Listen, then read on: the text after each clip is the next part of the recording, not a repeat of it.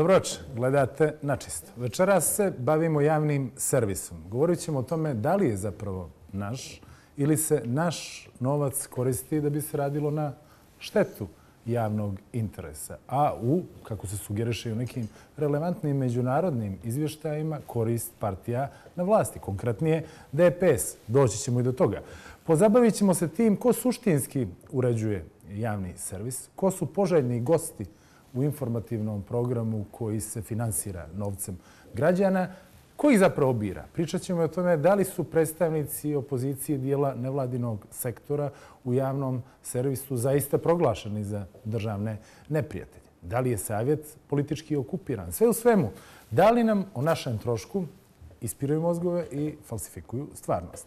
Naše gosti su urednik emisije Okvirna radio televizije Crne Gore, Zoran Leković. Dobroče, Zorane, i dobrodošli. Trenutno ste pod disciplinskim e, postupkom. Postupkom ovdje ste i kao moj kolega, ali neće se uvrediti naravno, e, i kao insider, budući da svjedočite o nekim problematičnim dešavanjima u okviru kuće koju finansiraju građani Crne Gore. U svakom slučaju, odmah ćemo se vratiti. Hvala, hvala što ste tu. Sa nama je i bivši član Savjeta radio televizije Crne e, Gore, Goran Đurović. Dobro večer. Dobro večer i e, bivši predsjednik Savjeta radio televizije e, Crne Gore smijenjeni, a sada aktuelni član ovog trenutnog saziva, gospodin Vladimir Pavićević, nadam se da nisam ništa promašio, ovaj, iako zvuči konfuzno. E, tako je, dobro večer i vam vašim gledalcima. Sa nama, nažalost, nije niko iz menadžmenta kuće. Evo kako su generalni direktor Božidar Šundić i direktor televizije Crne Gore, gospodin Slavko Đurđić, odgovorili na naš poziv da dođu i sugestiju da, ukoliko su zauzeti, sami izaberu predstavnike. Ja molim režiju da emituje prilog broj 6, odgovor gospodina Šundića i gospodina Đurđića. Poštovani gospodine Komneniću, zbog ranije preuzetih obaveza spriječen sam da budem gost u vašoj emisiji. Hvala na razumijevanju. Srdačan pozdrav. Poštovani gospodine Komneniću, smatram kako nije cijelishodno da učestvujem u emisiji u kojoj će se izvjesno komentarisati i predstojeći disciplinski postupak protiv novinara Lekovića. Ne sumnjam da ćete objektivno i nepristrasno obraditi temu o javnom servisu s kompetentnim gostima i medijskim ekspertima kao što to vaša medijska kuća čini u kontinuitetu. S poštovanjem, Slavko Đurđić.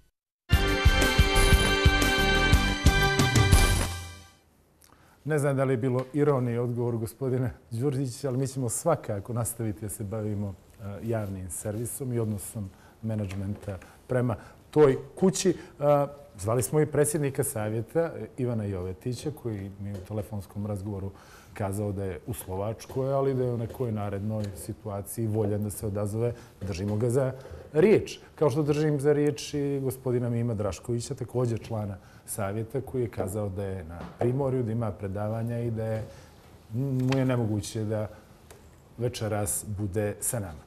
Član savjeta radio televizije Crne Gore iz redova građanske alijanse Milan Radović je tu, ali u Podgorici, ali ipak nije sa nama.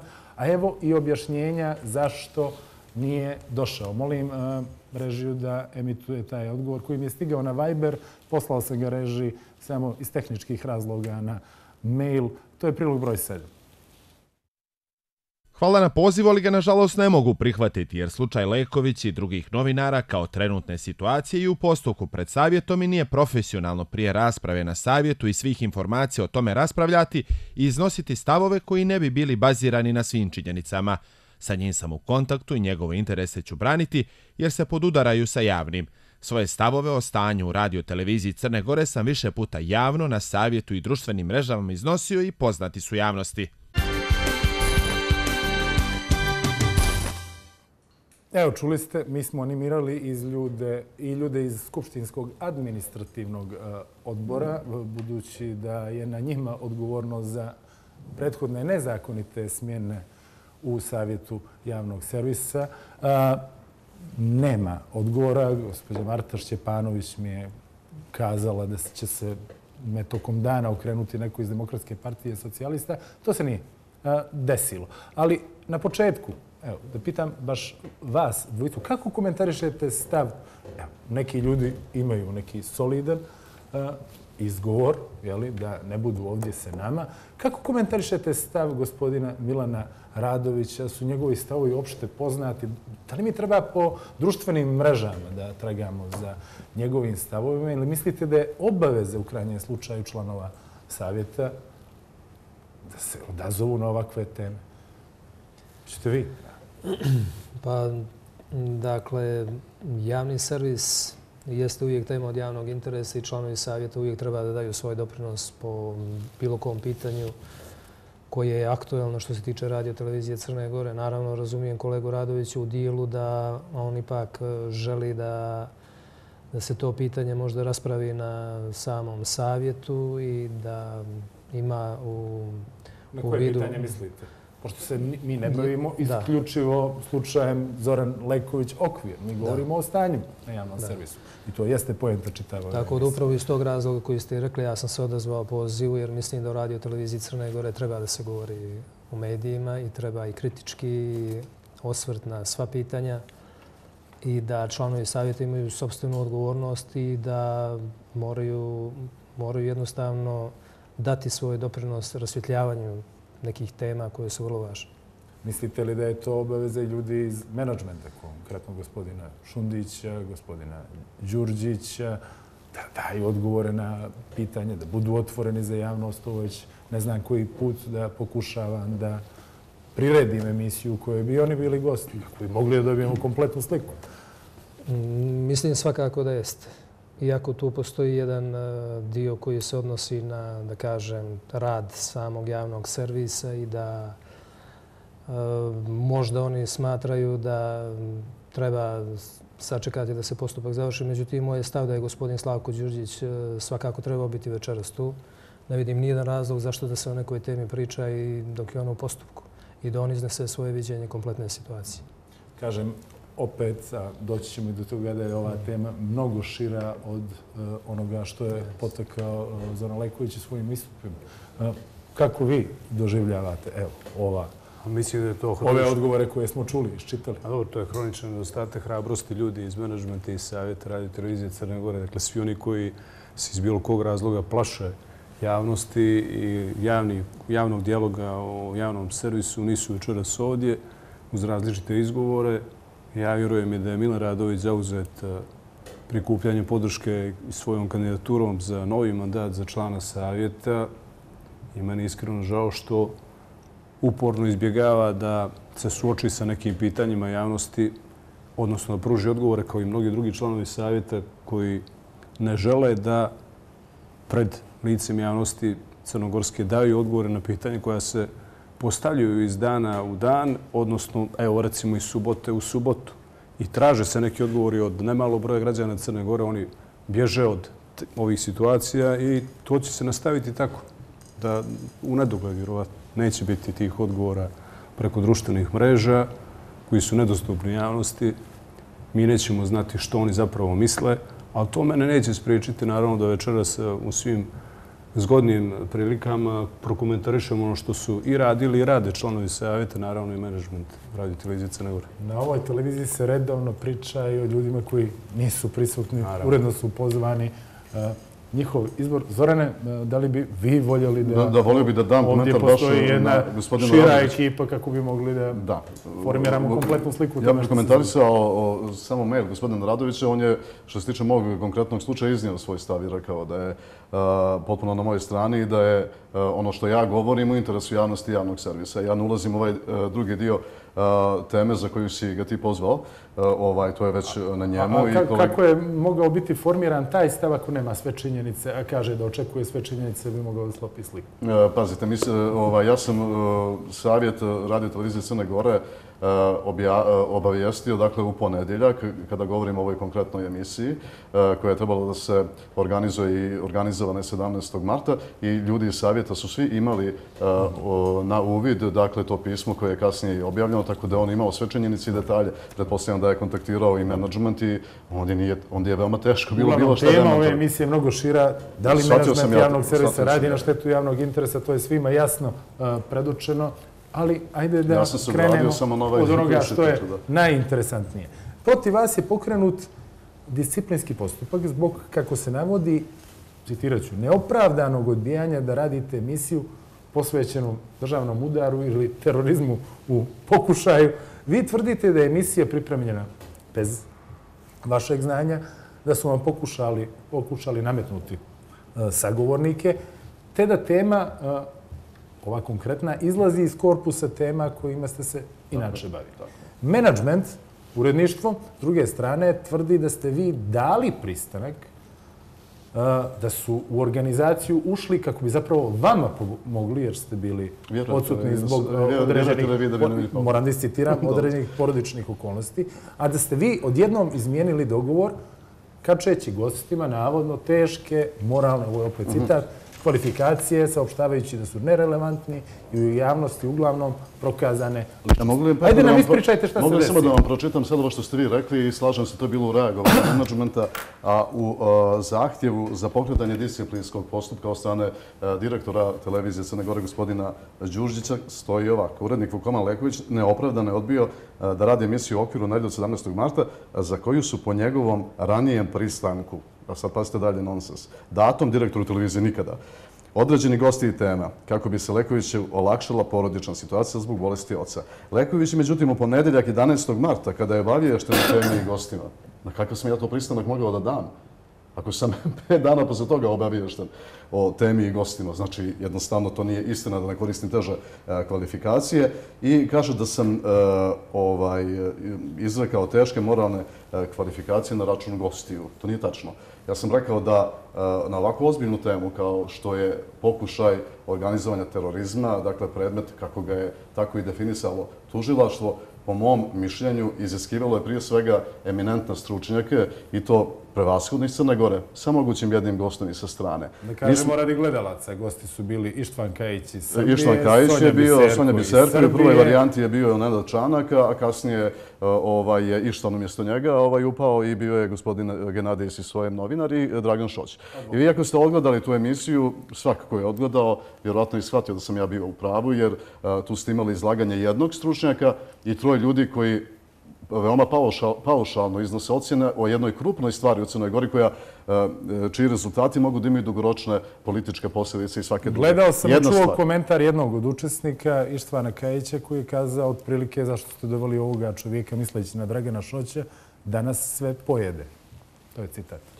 Da, i gospodin Šoć je u par navrata rekao ko je vas uopšte zvao u emisiju, zato što i samo njemu bilo čudno e, ovaj, da, je, da je takva struktura. A druga stvar, Petre, samo moram to reći jer mi je jako važno, emisija Okvir je koncipirana kao emisija koja se bavi ekonomskim i socijalnim pitanjima. Oni čak u reakciji, kada su demantovali to, e, naveli su da se Okvir bavio i pitanjima vezanim za turizam, kao da je turizam astronomija, a ne ekonomija, ili zdravstvo, zdravstvo je kao što svi znamo socijalna tema. Dakle, ja sam u savjetu i poslao, gospodin Pavićević je vjerojatno i dobio pregled sadržaja mojih emisija. I tu su oni insistirali da se ograničim samo na ekonomiju i socijalu, jer su se bojali mene u ulozi voditelja političke emisije, budući da nisam pristrasan. Moje skromno mišljenje. Dobro. I to mi je više navrata ponovljeno, a kasnije Vi, dakle, tvrdite da ste potpuno zatečeni, da je emisija unaprijed pripremljena kao i lista sagovornika. Evo Ono što mene najviše brine u tom vašem iskazu, e, kažete da je ova emisija, što znaju svi Mhm. zaposleni, citirat ću vas, definisana van zgrade televizije Crne Gore. Dakle, ne ni od strane menadžmenta, nego od strane nekih drugih struktura. Koje su to pitate Koje su strukture? to strukture? Ovo ću vam reći, nisu vladine, ali jesu neke koje su između, koje tu meditiraju i vi znate da postoje mnogi medijski guruji u Crnoj Gori e, koji nije novina, poodavno meditiraju na ovim prostorima. Mm, da, ja znam da kroz državnu televiziju u zadnje vrijeme defiluje dosta saradnika, recimo Vladimira Bebe Popovića. Mislite li na njega? Ja ne znam, nisam ih sretao jer nisam u ovom periodu bio u televiziji zbog porodičnih problema. A, na osnovu čega zaključujete ovo? Je li imate neka konkretna saznanja Pa, ili je ovo osnovu- vaša pretpostavka? Dobro, na osnovu nekih sastanaka van televizije e, na kojima su ljudi e, viđeni, je li tako, kako dogovaraju. Pitaću vas ovo vrlo direktno. Vrlo su glasne špekulacije, to namjeravam i vas da pitam. A, iz vaše kuće. Dobro. Nisu došli od vas, mi, kao što znate, na ovu temu nismo razgovarali. A, ali to govore novinari po terenu. Da uredništvo, menadžment, odlazi po mišljenje u staru zgradu vlade. A, i, jeste li vi čuli nešto tako? Ja znam da su odlazili u novu zgradu vlade. ovaj, zato imam i konkretno, mislim, da nemam dokaze na fotografije ništa, ali znam iz povjerljivih izvora. Da li su išli po mišljenje ili nešto drugo, ja neću da kažem. Ja govorim, e, zato što nisam ni bio na tim sastancima, ali vezano za emisiju e, koja se radila, o kojoj večeras govorimo, o 17.3. riječ je o emisiji koja nije kuvana u zgradi televizije Crne Gore, jer ne možete vi emisiju e, koja je autorskog karaktera, u kojoj sam ja uložio 11 godina, da radite sa gostima bez moje saglasnosti, sa odabirom teme bez moje saglasnosti, sa temom koja je van produkcijno produkcijnog plana radio televizije Crne Gore, a da prethodno, recimo u petak, gospodin Šuković u svojoj autorskoj emisiji odradi istu temu sa Nikolom Martinovićem, advokatom. Dakle, vi posle dva dana imate istu tu temu u emisiji koja ne treba se baviti tim. Ja sam njima poslao SMS, ima to gospodin Đuđić kod sebe, gdje sam ih molio, ja sam davao rok, imali su vremena da se isprave, gdje sam tražio da ova tema bude obrađena u adekvatnoj emisiji. Argumenti su zato formirani. Argumenti su emisije koje se bavi političkim eh, aktuelnostima. Okvir se bavi ekonomijom i socijalnim pitanjima njima i kraj priče, a imamo živu istinu koja također e, ne bi bilo prvi put da bude više od jednog gosta u toj emisiji, jel? Dakle, vi niste odmah, koliko sam ja to uh, razumio, došli u konflikt sa menadžmentom. Čak vam je sugerisano. Uh, idi kući, uh mhm. -huh. posveti se porodici, a mi ćemo naći zamjenu za... Da, bukvalno tako. Ovaj, Pazite, ja sam da bih sad govorio o privatnim stvarima, ja sam prošao kroz težak period, izgubio to sam... ne pita, da, ali moram reći zato što sam bio sa ocem u bolnici mjesec dana, ja sam se vratio i odradio emisiju koja je išla 10.3. koja se ticala minimalne zarade, dakle moja ekonomska tema, ona je odrađena. To je sasvim jedan novi koncept od nove godine okvira sa studentima u studiju, sa interakcijom i sa gostom iznenađenja. Dakle, ja sam bio tu, ja nisam tražio tu sedmicu da budem slobodan. Ne može mi neko da kaže idi odmori, posveti se. Ko su oni da meni govore čemu ću ja da se posvetim? Ja sam u tom trenutku posvećen poslu. Ja hoću da radim svoju emisiju. Ja sam zato i pisao savjetu radio televizije Crne Gore i čekao sam na njih odgovor. Oni su dobili, ja mislim, u ponedeljak taj mail, čime je gospodin Đurđić obavijestio o ovom E, skandaloznom predlogu, e, po mom mišljenju, i e, čekao sam na odgovor do četvrtka, imajući u vidu, sam, Petre, znaš, izvini što ti ne persiram, da već od petka ne možeš da realizuješ emisiju debatnog tipa i sa studentima i sa toliko gostiju. I ja sam u dopisu savjetu rekao da ću, ukoliko oni to ne spriječe, ja sam to i nazvao brukanjem javnog servisa, što se na kraju po meni i desilo emitovanjem te emisije, da ću se obratiti javnosti. Ja sam tako i uradio. Mhm. Zoran, jeste li vi jedini zaposleni u radio televiziji Crne Gore koji je uh, odbio da realizuje ovu? Da, vraćamo se sad, jer tako, Petre, na ovu odluku o pokretanju disciplinskog postupka. Uh, ja ću tamo podsjetiti da tu emisiju koja je bila 17.3. Dakle, oni su tražili nekoga ko bi je radio umjesto mene da ja odmorim, jeli, kako oni kažu. Uh, međutim, njih, koliko ja znam, petoro je odbilo. Jedan je na kraju prihvatio i odradio. A isti problem, odnosno još gori problem... Radio Nebojša Skenderi. Nebojša Skenderi, tako je kolega. Ovaj, uh, oni veći problem imaju sa emisijom Argumenti, koja treba da se bavi politikom i gdje kao na traci su izmijenjani većina zaposlenih, meni se čini. I, uh, tamo je šest ljudi odbilo da radi tu emisiju. To je također odbijanje radnog zadatka. Recite mi čemu je razlika što sam ja odbio sa potpunom argumentacijom da radim ovo, a disciplinski postupak nije pokrenut ni protiv koga od ostalih kolega koji su odbili da rade. Može li biti da je razlog to što se niko od tih ljudi nije odlučio na javni istup? Mislite li vi da bi bilo disciplinskog postupka da se niste oglasili putem društvenih mreža i objelodanili problem koji Znat, Znaš kako, Petar, teško mi je to, budući da oni ništa od toga ne navode u ovoj odluci, to čak nije ni predmet E, e, E, e, odluke o pokretanju disciplinskog postupka mogu samo da pretpostavljam, a ne mogu da tvrdim e, da li bi bilo ili ne. Moguće da ne bi bilo, ali ja sam jednostavno E, okvir je i produkcijnim planom vezan za moje ime. Ja ne mogu da dozvolim, to ne može niko od nas, novinara, ne bi smio da dozvoli posebno ako je autorski pečat u toj emisiji, da neko to skrnavi i radi nešto mimo volje autora. To je nedopustivo. Pa oni nisu ni u toj emisiji zadovoljili koncept emisije od nove godine. Niti su imali studente, kod mene su studenti ekonomskog fakulteta jer se emisija bavi tim, niti su imali goste iznenađenja, niti su imali pitanja gledalaca. A poslije ću se, molim te samo da ne zaboravim kako mi oduzimam dio po dio emisije. I zašto sam pribjegao novom konceptu. Kažete da je pet ljudi odbilo da realizuje... Ja ne znam tačan broj, nemoj se rezati, pet, pet, šest sigurno, ali ukupno je 12 Da ljudi. su se u emisiji Argumenti, koja je nasljednica emisije Replika, koja je ugašena sa dolaskom novo, novo, novog rukovodstva, također smijenilo u 5-6 nedelja, 5-6 autora.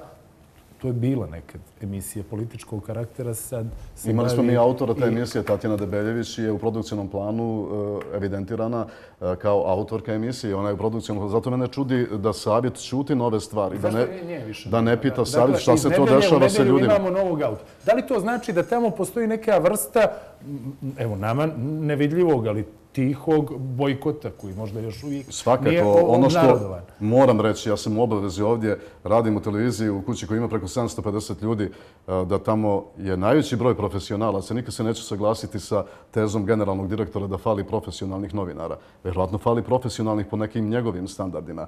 A ne znam ko je njima kriv što su profesionalne novinare skrajnuli u stranu da rade neke teme koje su od manjeg društvenog značaja i u suštini ljude rade da bi zaradili platu, jer moraju od nečega da žive, jer ne mogu da se izbore. Ali zato mi uvozimo ljude sa strane. Ove godine čini mi se budžetno, to će gospodin Pavićević potvrditi ili demantovati, opredeljeno oko 650.000 eura za spoljne saradnike. Ko su spoljni saradnici ako imate u kući 750 zaposlenih? I zar nije posao menadžmenta da od tih 750 ljudi, ako već smatraju da nema dovoljno profesionalnih novinara, napravi profesionalne novinare? Šta rade? To nije rekao samo sadašnji generalni direktor, to je rekao i Rade Vojvodić, prethodni generalni direktor. Da fali profesionalnih novinara. A onda je sa sobom doveo 50 ljudi. Da li sad imamo, zar iz te grupe opet nemamo profesionalnih novinara dovoljno? To su teze za izlačenje, da vam odmah kažem moje mišljenje. Profesionalnih novinara ima i u tehnici, i među vozačima, i montažerima. To su sve divni ljudi. Njima plata nije povećavana 15 godina. Rade za 300 eura. Ja radim za neku platu koja je između 550 i 600 eura, ali imamo autore koji su dovedeni sa strane i koji primaju više desetina hiljada eura. koliko Imamo autorku, mislite? ne samo još Imamo jednu rečenicu, imamo dvije- autorku jedne emisije koja prima 1000 eura po emisiji, radi je dva puta mjesečno. Ta Da li autorka... sad govorite o teleskopiji, tamo E, da govorim da o njoj. E, I e, ono što je nedopustivo za javni servis, što bi posebno trebalo, nadam se da će se savjet time baviti, da postavi pitanje neko. Kako neko ko je ugovorom o nekoj saradnji, vezano za teleskopiju, bio u poziciji da radi intervju sa predsjednikom Crne Gore. Intervju s predsjednikom države bilo bi čast svakom novinaru, jer je to institucija. Mi bi svi to voljeli da radimo. Mi to možemo da uradimo. Govorim za ljude iz prime time-a. Govorim za kvalitetne novinare. Ja i dalje kažem da je većina ljudi kvalitetna. To da imaju strah, imaju.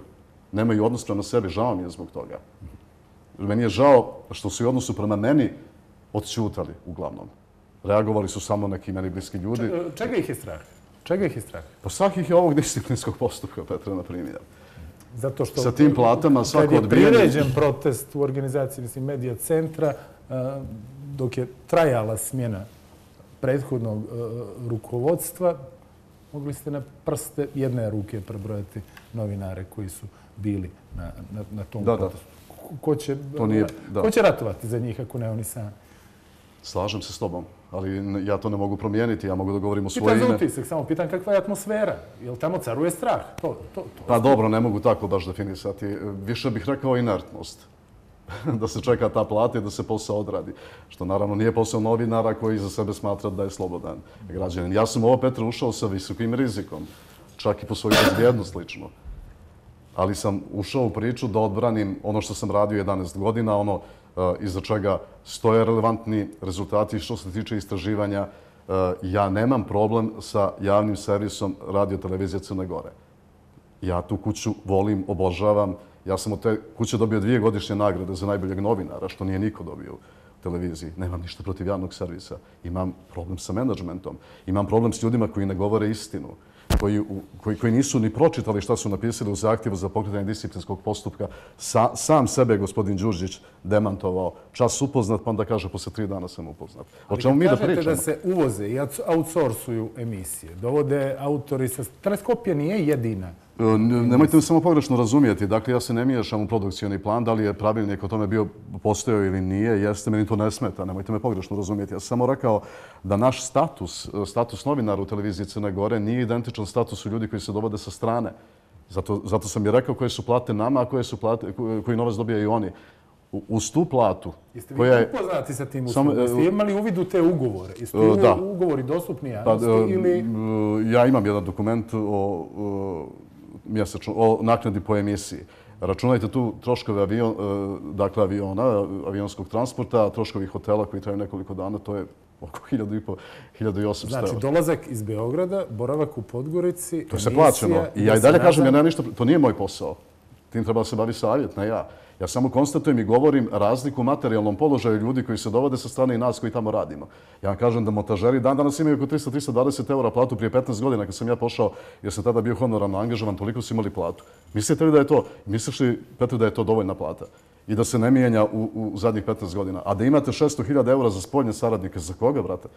Ako imaš 750.000 ljudi, ko I su u ovoj televiziji su, i u ovoj televiziji su vrlo e, niske plate, ali ovdje ni jedan čovjek ne dolazi, a da ne radi svoj posao. Ali o tome ćemo kasnije. Koliko Ja- ljudi ja ima ni te ljude nisam sad ni u javnom servisu, da. 760 ljudi, mnogi tamo godinama ne dolaze, a svrate po ček. Ali to je već jedna druga e, priča. A, dakle, ajde da se, Zorane, vratimo na ovo što je ključno zabrinjavajuće. U kom trenutku ste se vi obratili e, savjetu? I kako je savjet reagovao na sve ovo što ste kasnije predočili javnosti? A ovo su dosta teške optužbe na račun menadžmenta. Da se teme kreiraju sa strane, van zgrade. A što to nisu stavili u disciplinskom postupku? Kao temu za raspravu. Nema je, Petra. Je, je li vas neko iz savjeta U disciplinskom postupku samo, sta, samo stoji odbijanje radne obaveze. To- to- Toga nema ovdje. Eh, ovaj, ja se savjetu, kao što sam i rekao na početku, obratio eh, dakle 11. marta, kao što i Đurđić kaže, kad je on mene obavijestio, ja, sam- ja sam obavijestio i savjet.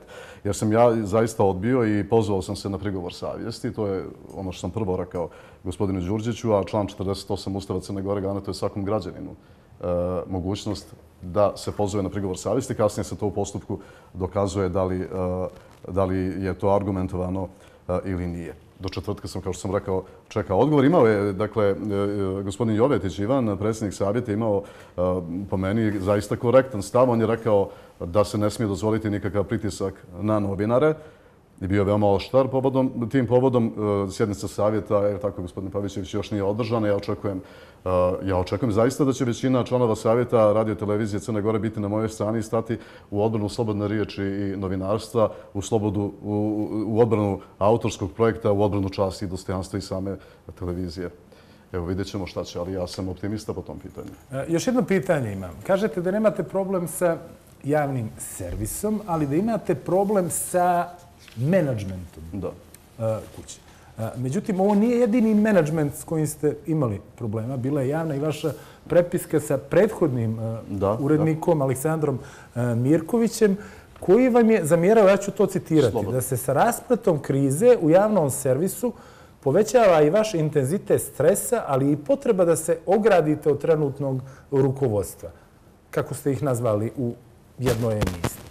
E, Tada vam je spočitao da ste pauzirali i kada se lomilo između Radojke Rutović i Andrijane e, Kadije. E, I, je li sve, direktno ću vas pitati, je li sve, je li do menadžmenta, jednog i drugog ili nešto i do vas? Evo, sam čovjek je tu koji može da potvrdi ili demantuje. E, Gospodin, Pa- za gospodina Pavićevića, mislim, koji je prije svega ljekar i humanista, pa tek onda član savjeta.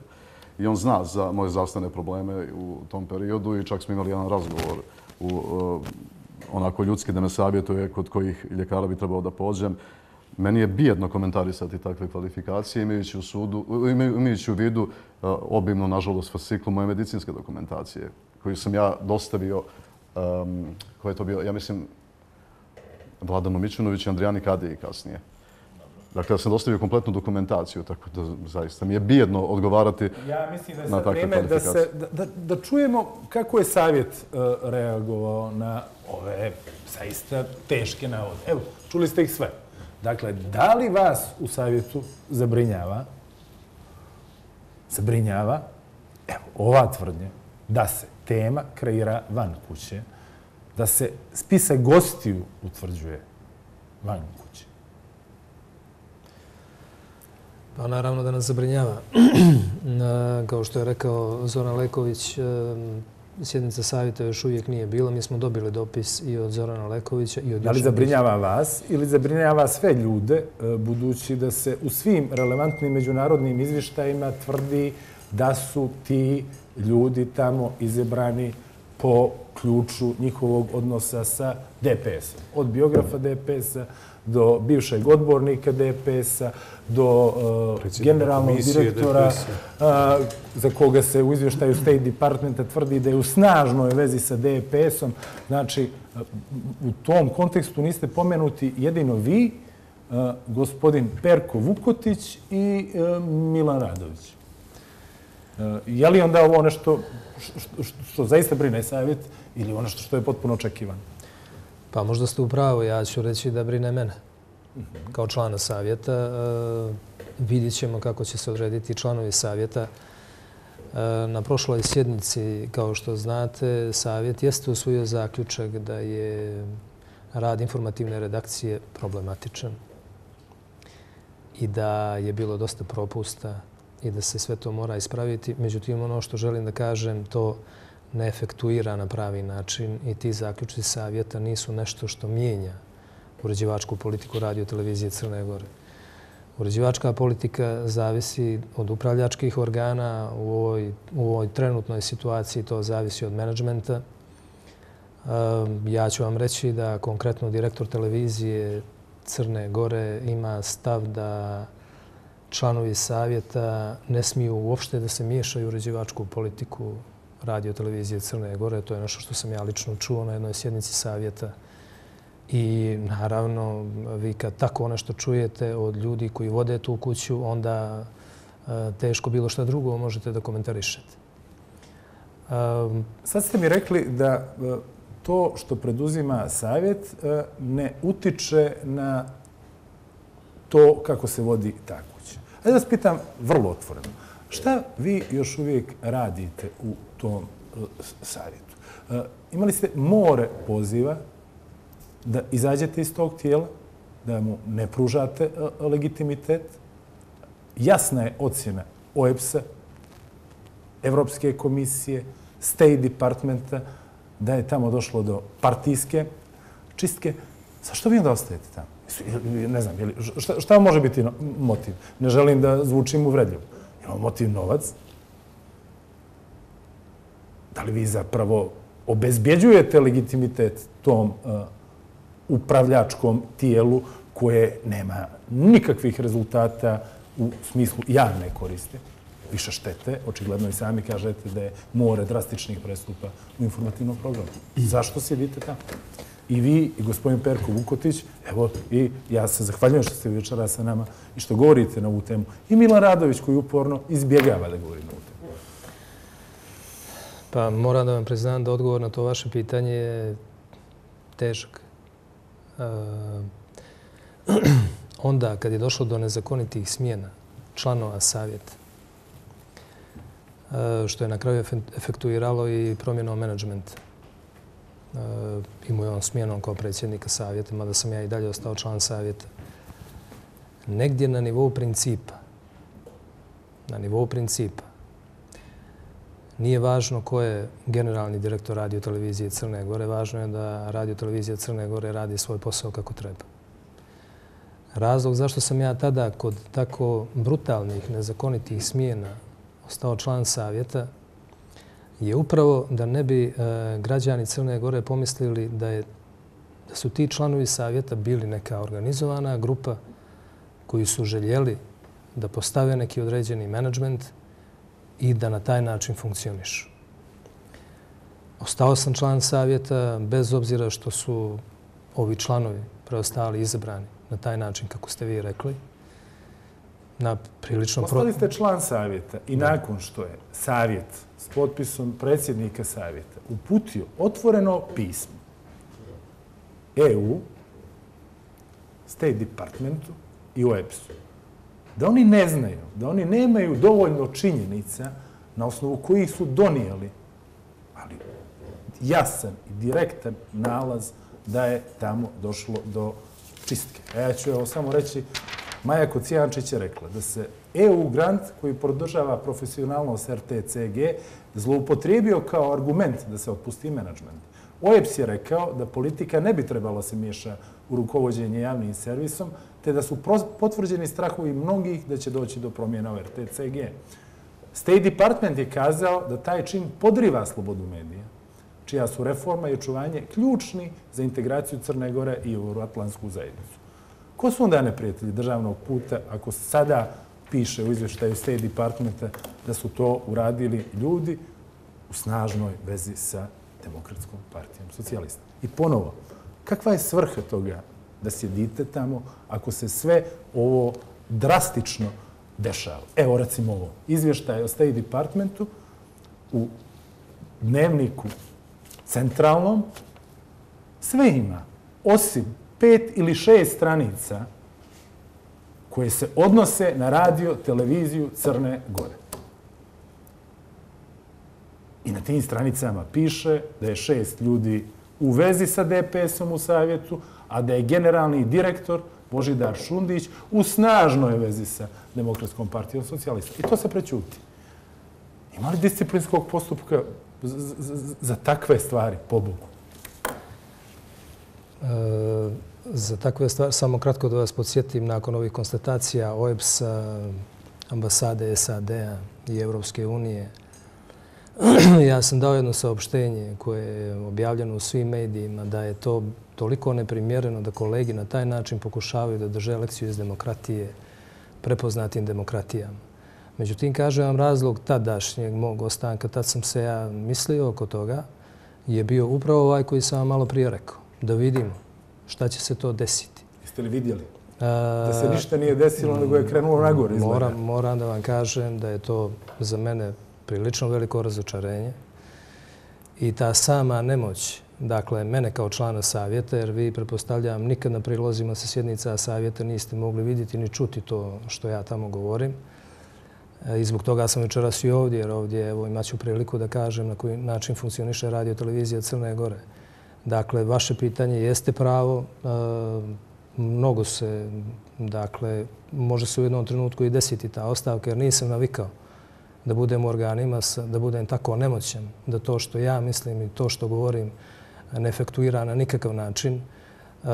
Ne mislim da to što na neki način ja i možda kolega ili njih dvojica na tim sjednicama ipak govorimo i iznosimo stvari na pravi način, a to čini mi se da nikako ne utiče na rad radio televizije i ovo što ste rekli, moja odluka o daljem angažmanu u savjetu, vidjet ćemo kako će biti. Razumijete li vi razloge zbog Eh, kojih vaše dojučerašnje kolege eh, u savjetu ostaju u tom upravljačkom tijelu? Evo, čuli ste razloge gospodina Pavićevića. Razumijete li? Pa prvo, treba reći da i to ja želim naravno da kažem javno, da je zaista dosta promjena urađena u savjetu u periodu dok sam bio član, zahvaljujući gospodinu Pavićeviću i e, ne samo njemu, naravno i Nikoli Vukčeviću i Perku Vukotiću i drugim članovima savjeta uspjeli su da se dese neke promjene i to je ono što je tačno i što je činjenica.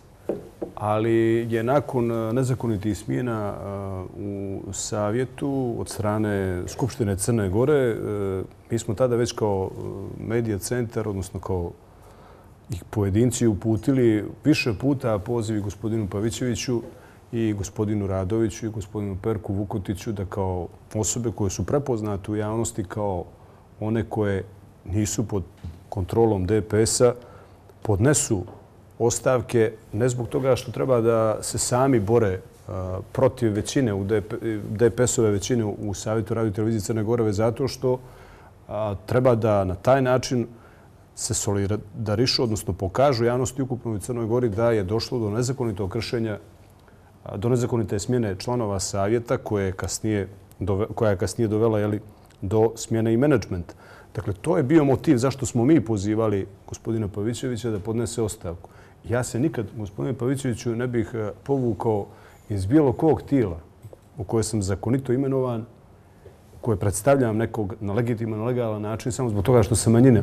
Dakle, ja nikad nisam osjećao nemoć zbog toga što sam i od 2009. godine radio u savjetu i pokušao da pravim neke promjene sa znanjem koje imam a, i energijom koju imam. Nije u tome problem. Dakle, problem za mene je što se vi ne čujete više nego da, ne znam, da, da niste član savjeta kao ni Perko Vukotić, kao ni Milan Radović, kao ni ostali ljudi koji su od momenta smjene Andrijane Kadije i Vladana Mićunovića prosto vas nema nigdje. Dakle, ne možete se boriti za bilo kakve promjene ukoliko niste prisutni u javnosti, ukoliko javno ne ukazujete na sramotno djelovanje urednika, direktora televizije, generalnog direktora i svih ostalih koji su uspjeli da za četiri mjeseca svedu nivo povjerenja građana na onaj koji je bio 2012. godine. Dakle, to je moj problem a, i fer je i korektno rekao bih da vam to javno kažem, nisam imao priliku do sada.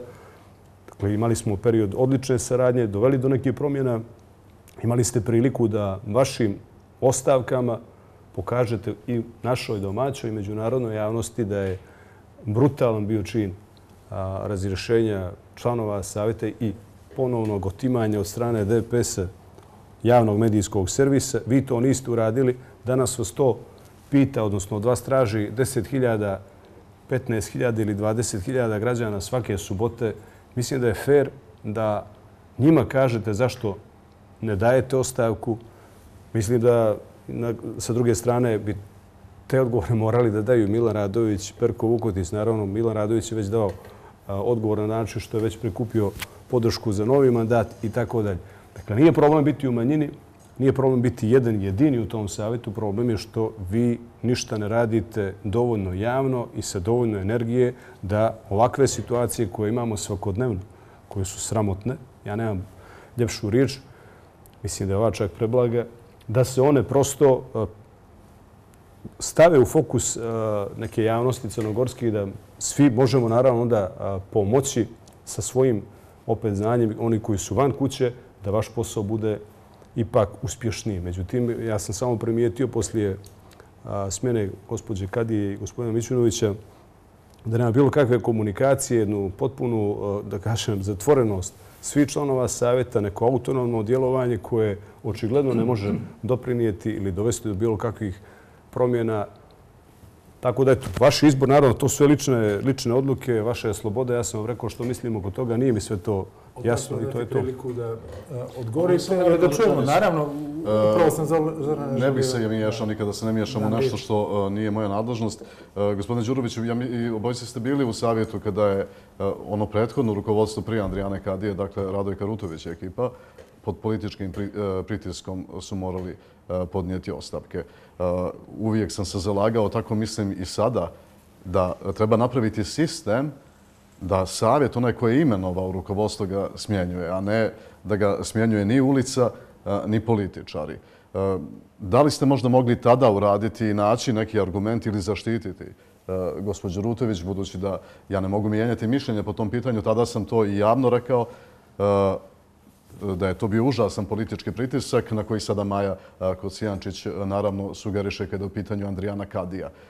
Zar se ne radi o dvije iste stvari? Izvolite, ovo je vrlo, vrlo, vrlo kratko. Dakle, gospođa Rutović upravo podlegla političkom pritisku, ne opozicije, nego vlasti nju su upravo smjenili oni koji su je doveli na tu poziciju, a to je Milo Đukanović. Dakle, nije dovela nju opozicija pa je smjenjivala, nego te Ali je politički pritisak, kako se sjećate socijaldemokratske partije, da se nije moglo otvoriti uopšte razgovor o prelaznoj vladi. I danas je neki politički pritisak, pa ne vidim da je bilo ko podnio bilo kako. Znam, ali ja ću televizija, da hoćete njih niko ne pominje. Ne, ne, samo da završim ovo što sam. Samo interesuje da čujem na nivou suda.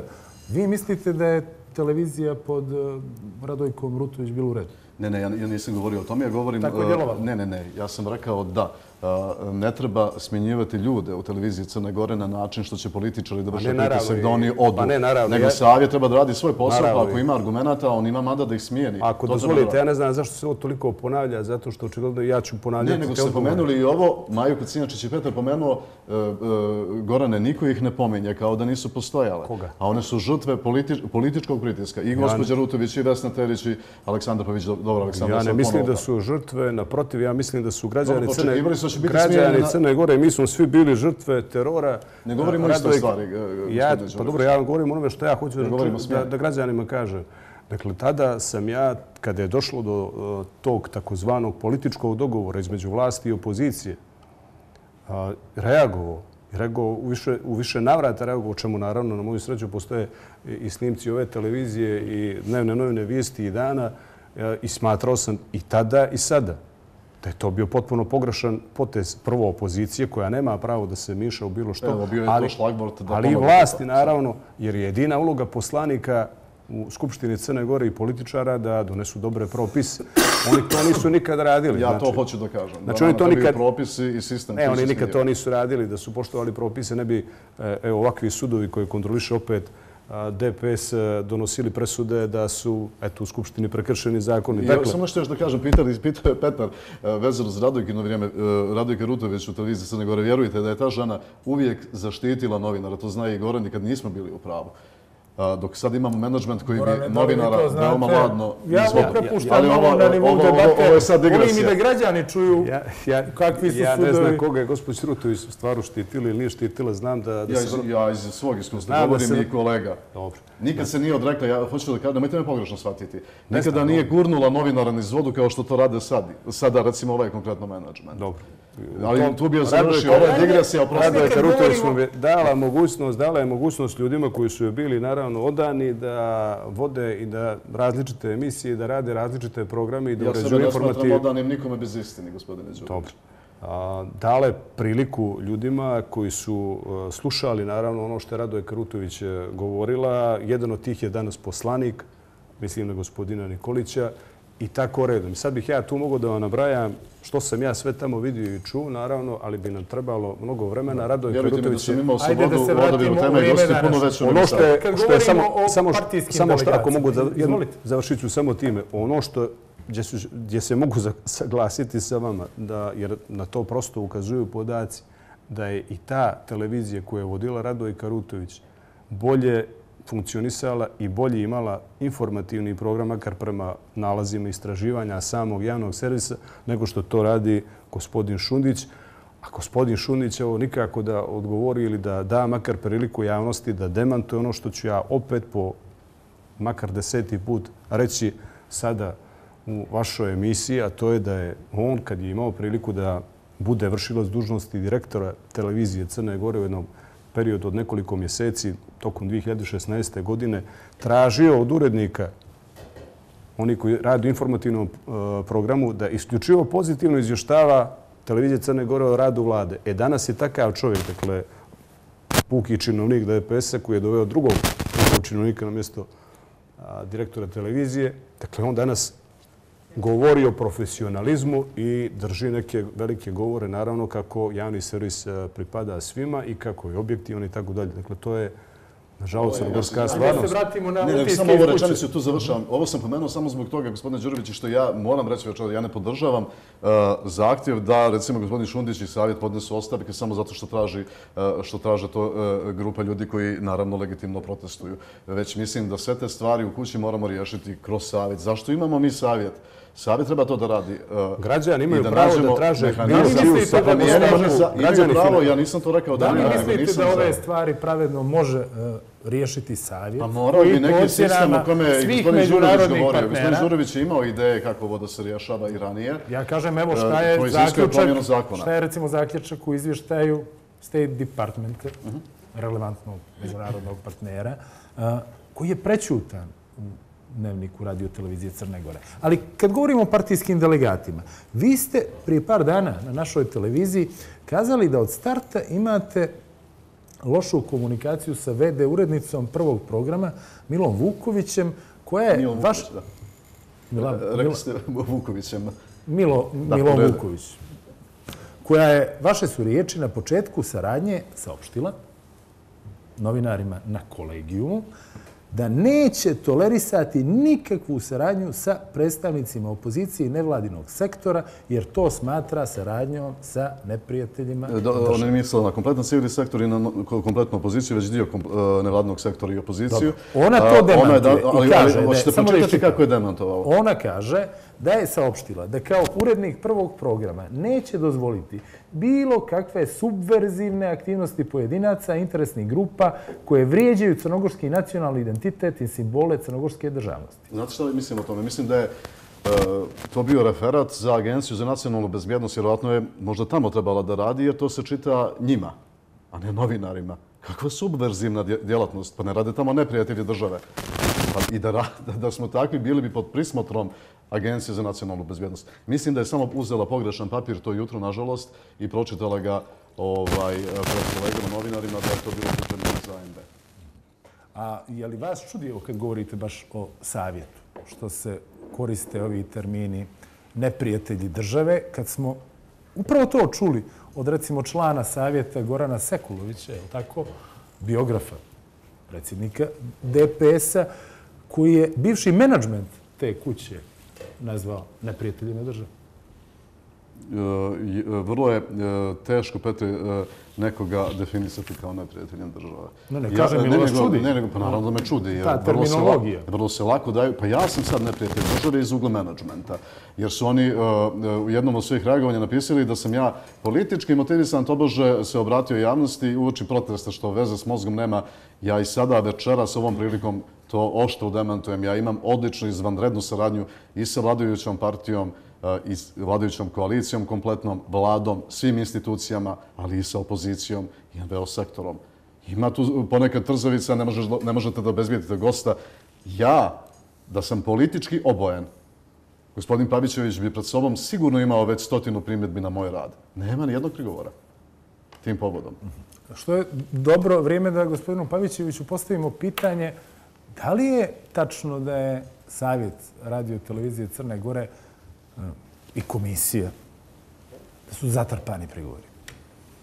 Dobro, evo, ako sam preživio ovaj prvi dio oko ostavke, da, da sad... Biće i težih. Mm.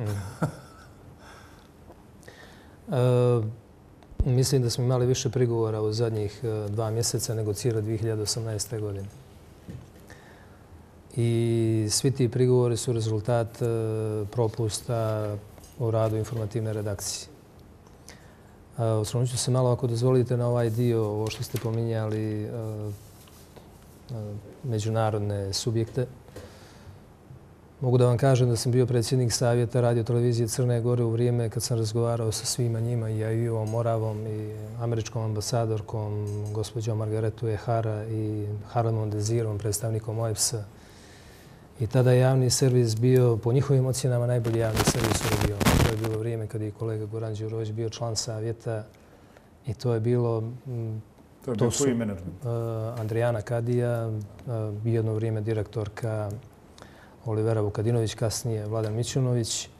I to su na kraju prepoznali građani kad smo prvi put, od kad se radi istraživanje javnog mijenja, građani su najviše vjerovali radio televiziji Crne Gore.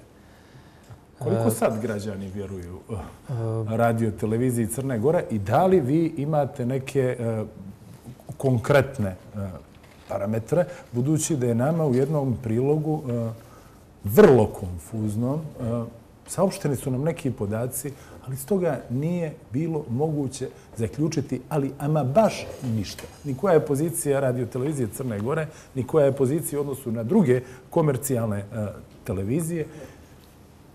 Je li imate podatak? Pa, dakle, istraživanje koje je rađeno početkom 2018. godine je bilo sa vrlo eksplicitnim pitanjima, gdje je bilo potpuno jasno i to glavno, krucijalno pitanje kojoj televiziji sa nacionalnom pokrivenošću najviše vjerujete. I odgovor na to pitanje, 31,7% građana je dalo da je to radio televizija Crne Gore.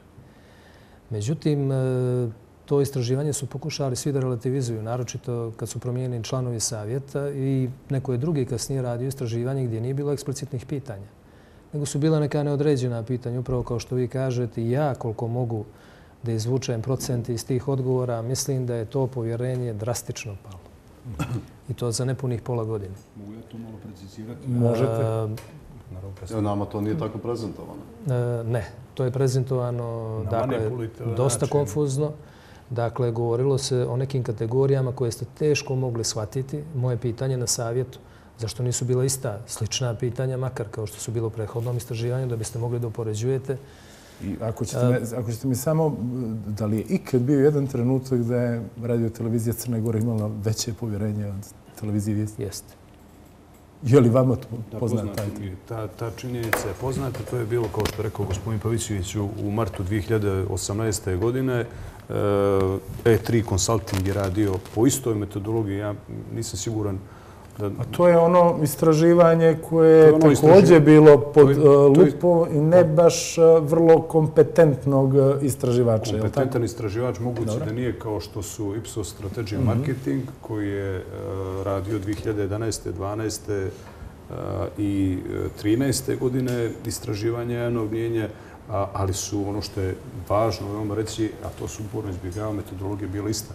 Kao tih godina kad Ipsos radio Strategic Marketing, a tada, samo da vam kažem kakvi su bili podaci, a mislim da je važno zbog građana jer je potpuno mjerljiv rezultat koji javni servis, današnji javni servis skriva od građana Crne Gore.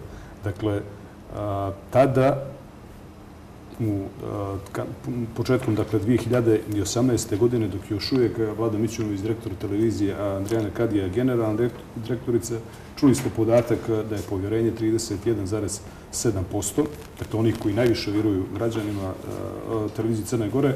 Ista ta godina, dakle novembar, kad se radi istraživanje pod patronatom gospodina Šundića, koje radi Ipsos Strategic Marketing, 22% 1,5% ispitanika najviše vjeruje e, nacionalnom javnom servisu. Dakle, to je dramatičan pad u odnosu na podatke. Ako nećete da Ako neko neće da prihvati ovaj podatak iz marta 2018. može onaj iz 2017. godine koji je radilo de facto agencija, po, opet ponavljam istoj metodologiji, i taj podatak je e, govorio pred uprilu činjenice da je 30% građana Crne Gore imalo povjerenje. Dakle, danas imate 22,5%, što je manje nego 2012. godine. Dakle, to je ono što je skriveno od građana, a to je suštinski podatak koji ukazuje da li javni servis obavlja svoju elementarnu funkciju. Gospodin Đurović, oprosti što vas prekidam, nama je prezentovalo istraži... e, e, nama je strategic prezentovao to Vama istraživanje, a ne prezentovao, vama je strategic prezentovao ono što je management htio da se prezentuje, tako da će i to svaka kuća i agencija uraditi na Da, način zaista, kako- jedan dio istraživanja je ostao na njihovoj zatvorenoj sjednici. Tako smo Dakle, rekli, treba bi gospodin ono Pavićević to da zna. Ono što je važno. Jeste se vi dakle, bavili s tim na savjetu? Izvinite, gospodin. Jeste- Jeste potegnuli to pitanje na savjetu? Da li, da li je jedan dio istraživanja razmatran pred članovima savjeta, kao što nam je rečeno na prezentaciji, kada je Strategic e, nas okupio u onoj prostoriji 501 i saopštio, kako gospodin Đurović kaže, selektivne podatke. Rečeno nam je da o pojedincima, pojedinim emisijama, kada ra- rating raste i pada, ćete biti obaviješteni vi, čini mi se istog momenta kada se završio ovaj sastanak i prezentacija. Zašto vam ova situacija nije bila alarm? Zašto recimo u toj situaciji niste sazvali varedni pres? Izdvojili mišljenje? Kazali "O, ovo je katastrofa. M se kriju Zašto podaci. niste pokrenuli pitanje razrešenja e, sa dva člana savjeta, Perkom Ukotićem i Milanom Radovićem? To nikad niste inicirali, a imali ste evo dosta prilika do sad. Mogli ste da to uradite ili da date ostavke tada, kad je, prije smjene Andrijane Kadije i, i Vladana Mićunovića i da makar tri mjeseca produžite život nekog menadžmenta koji je bio ipak Ali sad smo zatrpali, ali gospodin ima, ima, meni nije jasno je li vi sumnjate u istraživanje strategika ili u zlonamjernu i selektivnu prezentaciju od strane istog uh, uh, ovaj strategic marketinga. Niste mi vi jasni. Vi govorite da, uh, evo, oprostite, ali mi nije jasno na koga ciljate. Da li je strategic odgovoran, jer ti podaci koji su saopšteni su vrlo bili onako sjajni uh, sa pozicije menadžmenta. Strategic marketing, ja mislim da treba dozvoliti gospodinu Podvićeviću da odgovori. Strategic, strategic marketing je prezentovao podatke, ja vam ponavljam, to mislim da je to makar građanima jasno, koje je management htio da a, budu, za koje su oni htje- bili zainteresovani da se prezentuju. Preskočeni su uporedni podaci, nisu saopšteni podaci iz prethodnih godina i to nije greška strategic marketing, nego management. Dobro, ajde da čujemo. Zašto nije inicirana smjera menadžmenta ukoliko ste to notirali, shvatili? Zašto nije bio povod? Dakle, na sjednici savjeta ja sam svakako govorio o ovom istraživanju i tad je rečeno da će se održati jedna sjednica na kome će se prezentovati to istraživanje članovima savjeta i uvijek to tako ide. Dakle, napravit ćemo tu sjednicu, nešto ćemo analizirati, nešto će se dešavati. Međutim, ne dešava se ništa. Ovo što je rekao kolega Đurović o nekim strategijama očuvanja nezavisnosti i objektivnosti javnog servisa, ne možete vi upravljati drugim ljudima i, i znati tačno kako je njihovo raspoloženje. A ovo što je rekao kolega Đurović, ja se potpuno s njim u tom dijelu slažem. I sve je trebalo raditi da se sačuva nezavisni javni servis. Je li to bilo moguće? Ne znam. Ja mislim da nije da se razumijemo. Jeste vi sigurni da je bio nezavisan? Zašto, zašto vi, ako ste već, ako ste već ostali u savjetu, da. u namjeri da nešto mijenja, Zašto ne radite sve ono što je u vašoj moći, ako ne možete promijeniti? Ne makar da animirate javnost i da skrenete pažnju na ono što je aktuelno u tom trenutku. Evo, konkretno, da ne glorifikujem ja ulogu bilo koga u tom javnom servisu, vi ste sami napravili neku razliku između podataka o povjerenju, gledanosti, rejtingu, odnosu međunarodnih, međunarodnih e, centara prema čitavoj toj priči. Vladan Mićunović dobio pravosnažnu presudu, je li tako? U kojoj se kaže da je nezakonito smijenjen od strane generalnog direktora Božidara Šutića. Ta presuda, postoji neka mogućnost vanrednog pravnog lika, podrazumijeva ili poravnanje ili neki visok oštetni zahtjev. Što je šteta za nas, za javni servis. Je li tako? E sad, statut, član 38, kaže da savjet može razriješiti generalnog direktora radio televizije Crne Gore ako postupa protivno zakonu i opštim aktima ili ako nesavjesnim i nepravilnim radom prozrokuje veću štetu radio televiziji Crne Gore. Dakle, imate dva, dva ključna člana dvije ključne odrede koje su zadovoljene.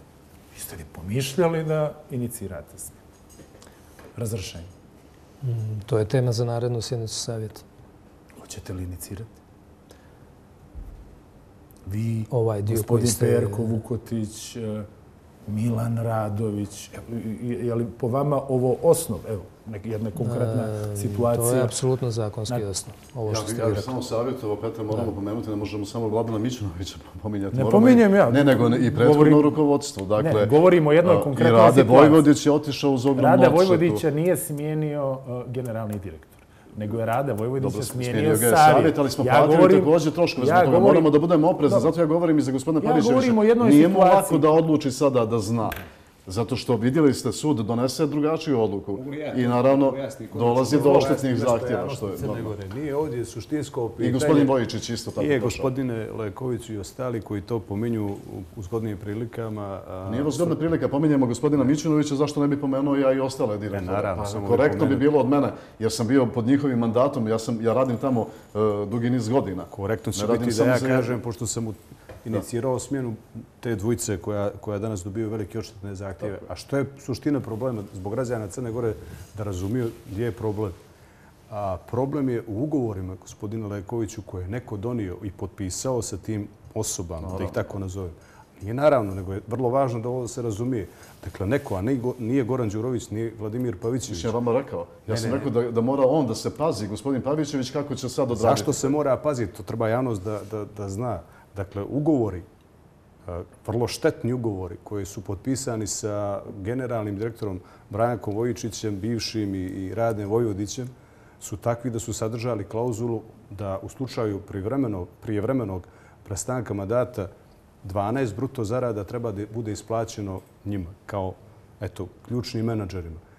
Te takve štetne ugovore za RTCG donio je savjet DPS-a, odnosno savjet sa većinom kojoj dominira DPS, to je ono što sad plaćaju građani Crne Gore, zato što će na sudovima koje kontroliše Vesna Medenica, također činovnica DPS, sve što može da se uradi, da se oduže za ono što su radili kroz javni servis za interese DPS-a biti urađeno. Nije problem smjena, jer ovo što sada se dešava preko sudova uz ovakva obeštećenja treba da bude upozorenje upravo koje ste vi izrekli To je ona svijest koja treba da se rodi kod gospodine Pavićevića. Pazite što ćete da uradite jer vas čeka vrlo štetan ugovor i čeka vas partijski sud. E to je problem. Dakle, zašto je Ivan Peno Mitrović i ostali članovi savjeta, među kojima nije bio gospodin Pavićević i nije bio Goran Đurović, u svoj ugovor, odnosno izmjen ugovora 2015. godine u decembru sa Radem Vojvodićem, gdje je obezbiđeno rad u Vojvodiću da ima 12 bruto plata kao zaštitu od privremene smjene. Ja ću podsjetiti javno Crne Gore, to vjerovatno mnogi ne znaju, dok je Duško Simonović bio predsjednik savjeta, prvi ugovor sa Radem Vojvodićem potpisan u decembru 2011. nije sadržao ovu klauzulu. Zašto? Zato što smo znali da je to štetno i velika opasnost za buduće situacije. Zašto nismo uspjeli da ne bude u daljim ugovorima? To nije stvarno nešto dio koji ja... To je, ali to morate i vi da znate da ne postavljate ova pitanja. Suština nije problema u tome da se smijeni neko ko štetno radi, protiv zakonito radi kao gospodin Šunić, nego ko je njemu omogućio da ima ovakvu klauzulu ugovoru. Znate što me zanima? Da e, e, kasa kuće u kojoj radim ostaje uskraćena za stotine hiljada eura koje mogu da se upotrebe za nešto drugo. A vi ste ti koji trebate da uredite sistem, a ne ja. A nije, dakle, sistem se uređuje kroz zakon. Apsolutno, ali vi dakle, ste pokretači ideja. Taj zakon, taj zakon omogućava upravo da imate danas i to nepoštovanje zakona, nepostojanje institucije omogućili su da imate danas situaciju kako imate i većinu u savjetu kako imate. I ta većina u savjetu donosi opet ugovor sa Božidarom Šudnićem, kome opet daje 12 zarada. Toga nije bilo, znate, ugovoru sa Andrijanom Kadijom. Ona to nije htjela. Isto ko što nije bilo ugovoru sa Vladanom Mićunovićem. Ko je danas pokreta čitave priče? Evo, Zorane, Zorane mora vas to pitati. Ko je danas pokreta čitave priče? Ako piše, evo, izvještaj State Departmenta, šest od devet članova ima veze sa DPS-om, a generalni direktor ima snažne veze sa DPS-om. Da li to znači da je DPS pokreta? Čitave priče. Ili... Da li pokretač čitave priče, to ste rekli? Da li on stoji iza čitave? Da vam nešto kažem, Petre. Ovaj, Mene to interesuje. Problem u Crnoj Gori je, toga se najviše bojim, ne samo kroz ovu sferu. Problem je e, što se ljudi vremenom naviknu na sve. Pa su takvi radnici navikli e, da primaju dio plate na ruke, drugi na račun i onda to je jednostavno vremenom opada kao tema. Nešto što je suprotno zakonu, što je ponižavajuće za radnike. Ko je uveo tu Bojim se, je ovdje na vlasti ja, ja ne mogu, jedna te ista partija, da, baš ova sticajem Znam, ali ja vam kažem, vjerovatno, vjerovatno. Ali uh, ko vam garantuje da opozicija, kada jednog dana osvoji vlast, neće raditi po istom tom modelu? Ja govorim o tom problemu navike. Mi moramo da napravimo sistem da im to uzmemo iz ruku i DPS-u i bilo kome ko dođe na vlast. Žao mi je što ne vidite da se taj sistem može napraviti jedino čestom promjenom vlasti, što jeste i suština demokratije, a ne vladavinama od po 30 kusur godina, kao da imamo dinastiju. To je već druga dimenzija, to me nisi pitao. To je suština. Idemo na reklame, već im je vrijeme, odmah se vraćamo u studiju. Ponovo smo u studiju, gledate raspravu o javnom e, servisu. Zoran je gdje u uvodnom dijelu e, emisije e, pomenuo da se neki novinari koji dolaze sa strane, mislio je i pojasnio je to, na Tamaru Nikčević, koja je autorka Teleskopije, na radio televiziji Crne Gore, prema njegovim riječima, basnoslovno plaćaju u odnosu na ostale zapošljene. E, kakvi su ugovori vezani za ove emisije koje su outsourcovane. Jeli, ja sam ne znam kakav je uopšte status, recimo, Tamara Nikčević, kakav je ugovor sa e, živom istinom. Imate li vi uvid u te papire? Pa, ono što želim da vam kažem, to je, evo, tu je i kolega Đurović koji je bio član savjeta u tom periodu kad je savjet radio na način da je raspolagao svim podacima. Šta god smo tražili od menadžmenta, mi smo to dobijali. E, sada to nije slučaj. Ja ono što mogu da vam kažem da šaljem veliki broj mailova menadžmentu, na vrlo mali broj njih e, dobijam odgovore i oni su paušalni, dijelimični, a na najveći broj ne dobijam odgovore. Što se tiče ugovora, gotovo mjesec i pol dana je prošlo dok sam dobio ugovor sa autorom emisije Živa istina. E, savjet u starom sastavu je e, imao to smo bili uredili pravilnicima da imamo nezavisnu produkciju i koprodukciju i samo su ljudi po konkursu mogli da uđu u saradnju s radio televizijom Crne Gore i sve je bilo vrlo precizno definisano.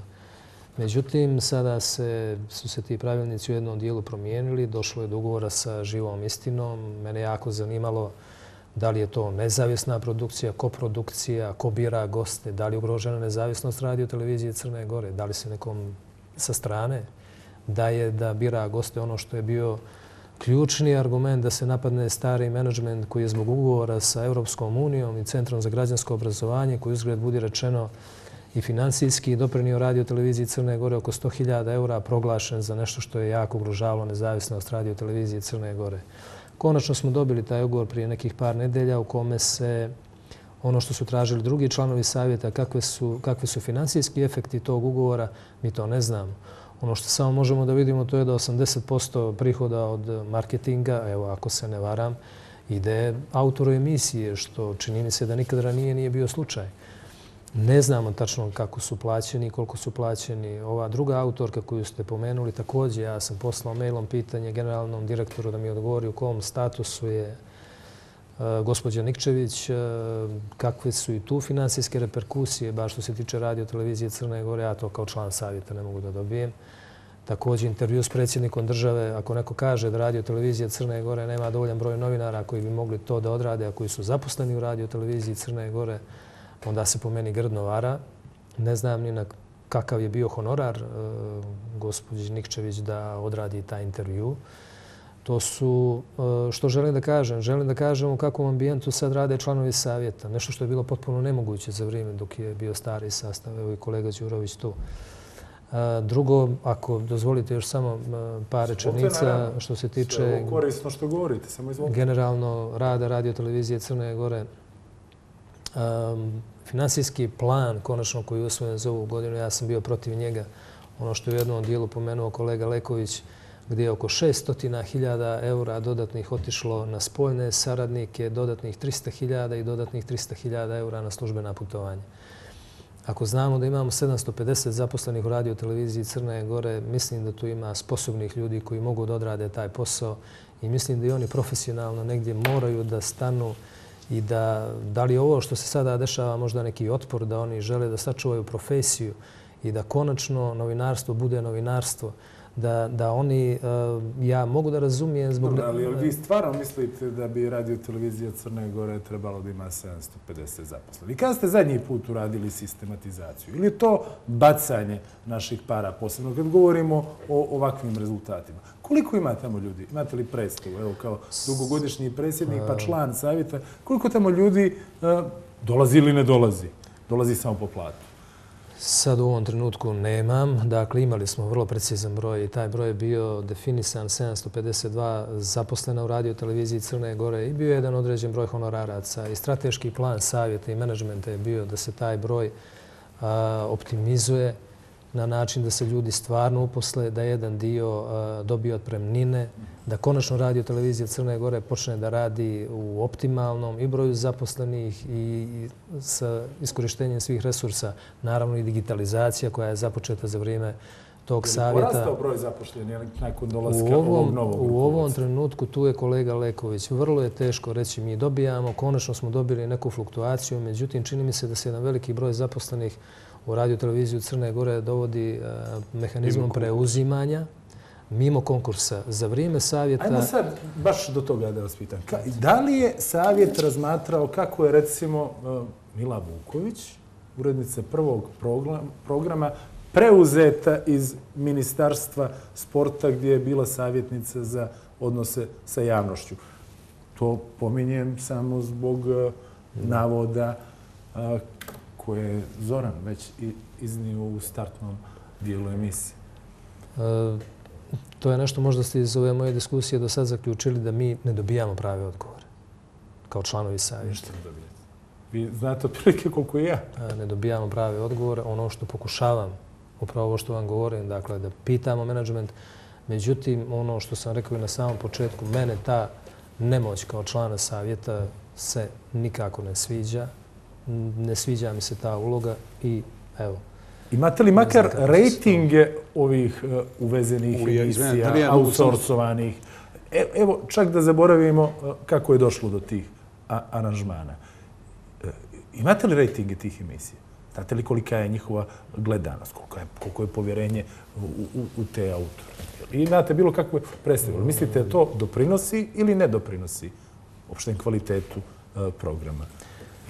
Dakle, ono što ja mislim, mislim da je uh, naročito, naročito rad uh, informativne redakcije došao na jedan nivo koji je teško prihvatljiv. Što se tiče samog rejtinga, prepostavljam da je kolega Đurović, oni su imali par i konferencija za štampu koje radio televizija Crne Gore, čak nije ni posjetila ni jednom da vidi šta neka nevladina organizacija misli o javnom servisu. Zato što je subverzivna djelatnost. Šalim se naravno. Ima još jedno pitanje za vas. Ako vam uh, ne stižu redovno dokument od generalnog direktora, od uh, menadžmenta, uh, ima informaciju da vam stižu prigovori od nekih novinara u radio televiziji Crne Gore. Koliko ja znam, jedan od njih je stigao baš na adresu savjeta i traži se intervencija savjeta jer je iz priloga ispao jedan segment u kome se u kome je izjava Aiva Orava, šefa EU delegacije u Crnoj Gori. Da li je to tačno? Koji je dio nestao iz toga priloga? To je apsolutno tačno. Nama je stigao taj prilog i radi se o dijelu priloga u kome se govori da Europska unija također prati i slučaj člana savjeta Nikole Vukčevića koji je dobio pravo snažnom presudu da i on nezakonito smijenjen i kao član savjeta. I to je nestalo iz priloga? To je nestalo iz priloga. Je li se utvrdilo ko je prekrojio taj prilog? Dakle, uvijek je reakcija, da kažem, u maniru, da kažem, tih starih članova savjeta. Dakle, mi odmah reagujemo, pitamo, tražimo izjavu direktora televizije, da se on direktno izjasni šta, kako i na koji način. Međutim, ni to ne dobijate. Dakle, vi u ovom trenutku imate kako bi rekao, jednu, jednu poziciju stabilnu, gdje se neće ništa desiti, odgovorili, ne odgovorili. I trenutno je takva situacija. Mislim da je to... Stvarno, malo prije smo izvijem govorio da političari koji su to tako odradili, govorimo o administrativnom odboru, oni trebaju da, pod, da, da snose odgovornice. To je zaista sramota. Sitan sam ja, može Crna Gore i novinarstvo Zorana Lekovića. Ali takve krupne stvari znaju epilog šta će sud da E, odluči donijeti takvu odluku u propasta života ljudima i ostali za svaku osobu. Ono što, što mislim da, da, da vrijedi, da vrijedi e, pomenuti, naravno, da e, je ovdje iz ovoga što ja makar mogu da čujem, a i da nisam čuo, može da se vidi, odgovornost za e, komunikaciju između članova savjeta i menadžmenta na predsjedniku savjeta, gospodinu Jovetiću. Dakle, ja sam više puta javno govorio i Medija centar e, i ukazivao na činjenicu da je i gospodin Jovetić, naravno, neko ko je e, u nekom e, nekratkom periodu bio član komisije Demokratske partije socijalista za euroatlantske integracije, ili već kako se zvala ta njihova komisija. I da je tu došao opet umjesto gospodina Nikole Vukčevića sa jasnom, sa jasnim zadatkom, naravno, da pomogne da se preuzme i potpuno kontroliše javni servis, javni medijski servis od, od strane DPS. Zašto nema, zašto nema informacije? Dakle, e, meni je zaista nevjerojatno da, da gospodin Pavićević je toleriše takvu situaciju da nekomu ne dostavlja podatke. To nije moglo, nije bilo zamislivo u periodu dok smo bili članovi savjeti, dok je on na kraju krajeva bio predsjednik e, tog e, tijela. Ovo je nešto što iziskuje uporan, svakodnevan e, rad, prisustvo u javnosti i ukazivanje na ove probleme. Dakle, vi ovo nećete moći da rješavate sami, a neće moći da se upozna šira javnost bez vaših javnih nastupa. Dakle, imate jednu skandaloznu situaciju da se urednik potpuno protiv prvog programa preuzima iz Ministarstva sporta, iz vlade Crne Gore i dolazi protiv zakonito, protiv statuta javnog servisa i zapošljava se i uzima funkciju urednika prvog programa. Sad govorimo Milo da, Milo Vuković. Mislim da nije bilo, bio direktan transfer, dakle, portal VD urednika, nego među rešenje je nađeno. I onda je ne, u jednoj redakciji u televiziji, pa onda sa tog mjesta ovaj. Dobro, provjerite, to bolje može gospodin Pavićević od mene. Dobro, dakle... Sada da ne može ni gospodin Pavićević... Ne može niko izgleda da provjeri ništa. neku dokumentaciju, ali je ne dobija. Dobro, dakle, ovo je, ovo je, ovo je situacija koja je zaista nevjerovatna da, da, da ne možete dobiti informacije. To je, to je kažem, odgovornost. Ovo su ogoljene situacije. Ogoljene, naravno, situacije. Ovo će biti, građani moraju da znaju da će ovo biti ovako. sve do, mo- do momenta dok se, zahvaljujući inicijativama različitih sudionika u ovom društvu, ne desi promjena prvog zakona, pa zatim oslobađanje svih institucija. I to je ono što građani traže na protestima i subote u subotu i to se mora desiti. Ukoliko hoćemo da dobijemo institucije koje su profesionalne i slobodne. I time, ja mislim da i svi oni koji se zalažu za to pokazuju zaista da žele razvoj crnogorskog društva, Crne Gore kao države, kao što reče Milo Đukanović, država počiva na institucijama, ali ne na zarobljenim institucijama, već na onima koje su profesionalne i slobodne. Javni servis je ugušen, odnosno ugušeno i i vraćanje DPS-u samo zato što je u jednom momentu postalo jasno da je moguće da u Crnoj Gori funkcionišu slobodne institucije. Javni servis je bio slobodan 17 mjeseci, dok je jedan prethodni menadžment radio svoj dio posla onako kako treba, maksimalno se makar trudio da bude profesionalan. Dakle, javni servis je u tom momentu postao primjer slobodne institucije koju je trebalo ugušiti. Jer šta će biti po Bogu ako se sutra u obrazovnom sistemu ili zdravstvenom sistemu ili drugim servisima, također javnim servisima, dese slične stvari. Dolazi do oslobađanja institucija, što naravno znači gubite kontrole eh, svih segmenta našeg života od strane DPS. I to je ono što je koštalo javni servis, eh, rekao bih već prilično, a evo, građani znaju, mislim da sad već mogu da uporede vrlo jednostavno što su imali za tih 17 mjeseci, kako je to izgledalo, kako izgleda sad. Mhm. E, ja bih samo, evo kako to izgleda sad i mora to biti skroz reper, ali vrlo indikativno. Šta su vam ljudi koji su e, na ulicama poručili kada su došli pred e, zgradu javnog servisa? Ajde da čujemo, da vidimo da li oni to doživljavaju kao svoje. Molim režiju da emituje prilog broj 5. Tražimo da Savjet radio televizije Crne Gore i generalni direktor radio Crne Gore, televizije Crne Gore odmah ponesu neopozive ostavke. Dosta je bilo njihove buke i bruke. Naša buka za vrijeme njihovog dnevnika neka bude odgovor na njihovu permanentnu bruku.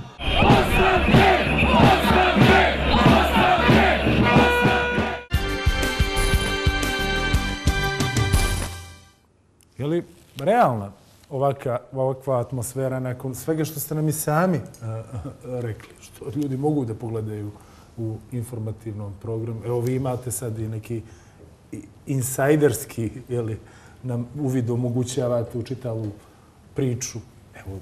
I Zoran dijelom. Jeste vi bili na protestima? Pa ako me pitate tačno upravo za ovaj snimak, e, tu sam bio.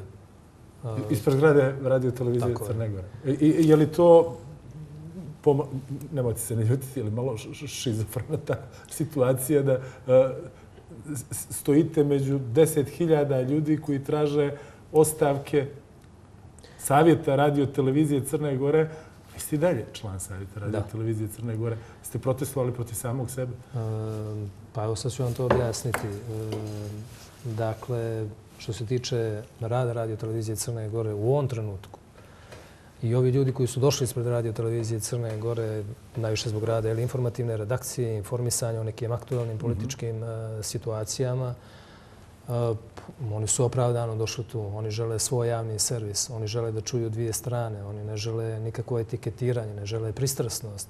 Pokušavaju da probude taj građanski duh građan, građanina koji će biti jači od svih političkih partija i politike u Crnoj Gori.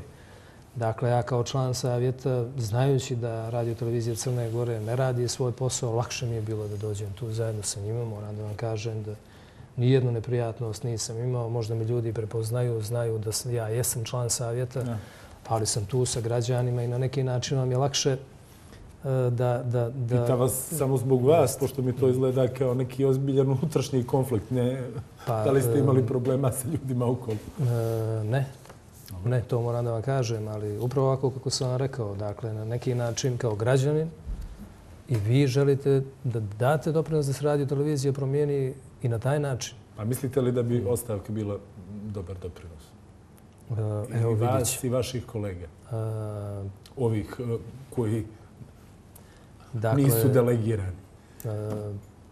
radio televizija Crne Gore mora da se promijeni. Koji je to način? Ako je moja ostavka, ako će se zbog nje promijeniti, No, ja mislim samo ja ću još jutra dati. Ne interesuje me vaš stav oko toga. Da. To, to ste moj morali stav je, sami sa sobom da zaključite. Već ovoliko vremena to se od vas Da. zahtijeva. Sami kažete ne možete ništa da promijenite. Ne možete da dođete do dokumentacije. Ne možete da dođete do ugovora. Informativni programi kažete sve gori i gori. trenutku Ljudi vas zatrpavaju uh, prigovorima. Zorane, evo kako vama izgleda dnevnik radio, televizije, Crne Gore? Nemoj što se šokiraš odgovorom. Ja ne gledam dnevnik radio televizije Crne Gore. Ja se informišem putem uh, ovaj, internet platformi jer ne mogu da se informišem kroz dnevnik. Znači, ne zadovoljava moje ogromne kapacitete za informacijama. Jesi zadovoljan? A kako se, ne, nema što da bude zadovoljno, Je to tako, ja govorim istinu. a, kako se u autorskim emisijama, a, evo, ajde da napravimo tu paralelu. Dakle, DPS je bojkotovao prethodnu garnituru, iako su, ja to moram da kažem, autori emisija gorljivo zvali, zvali, zvali, zvali te ljude, redovno čitali odgovore koje su dobijali, kao što Da, ja da, sjećam se. večeras Govorite za uh, period Andrijana Kadije i Vladana. Govorim u tom periodu Dobro. su otvarali vrata, zvali te ljude. Oni se nisu pojavljivali, čak su iz vlade dobili odgovore tipa kad budete pravili, što ne pravite, priču o tome kako je Richard Gere, eh, ne Richard Gere, nego Robert De Niro došao na Sveti Stefan, toga se sjećam, nego pravite priču o državnoj pomoći.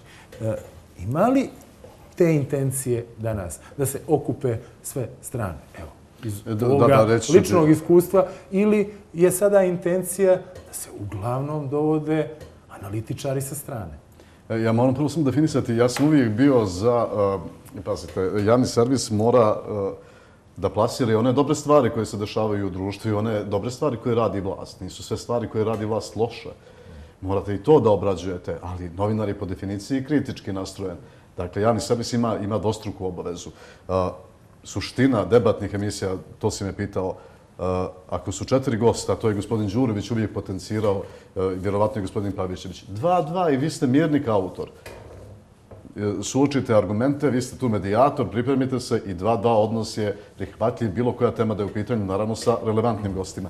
Ja ne mogu, ja bih zaista rekao neistinu kada bih rekao e, da u ovom periodu, e, kada je gospodin Šundić tu, da mi je neko vršio pritisak lišo, dakle, ove emisije koju ni, što je odradio Đurđević, direktor televizije, nisam imao problem ni sa temama, ni sa gostima.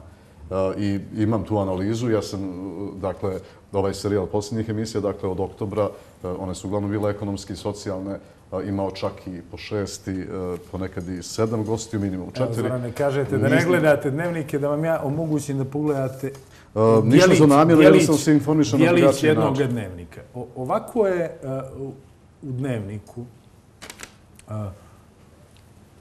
drugom, centralnom, reagovalo uredništvo nakon što je navodni ekspert za bezbjednost Darko Trifunović uh, raskrinkan, jeli, uhvaćen u laži, kada je govorio, govorim sam o praćenju afere Koverta, Duško Knežević, kada je toga čovjeka uh, gurnuo u Mosku, a ovaj se sjutra već istoga u dana slikao u Londonu. E ovako izgledao uvodni prilog. Molim režiju na radio televiziji Crne Gore. Interesuje me, jeste vi možda o tome pričali i na savjetu. Prilog broj 1.